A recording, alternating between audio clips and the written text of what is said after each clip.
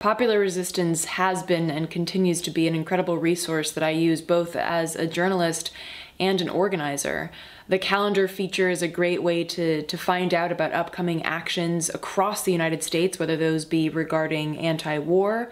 uh, national improved Medicare for all, fair trade over free trade, net neutrality and digital rights, fracking, you name it. The calendar is a, is a tremendous uh, coming together of a lot of different issues and uh, a lot of different organizations that a lot of us care about and want more information on. And in that same vein, information, the amount of education and uh, news and updates that are housed in Popular Resistance and their subset websites is incredible. Again, it connects you to websites like Protect Our Internet, which deals with the, the fight the ongoing fight for net neutrality and a free and open internet, uh, National Improved Medicare for All, and again, fighting things like NAFTA and the Trans Pacific Partnership.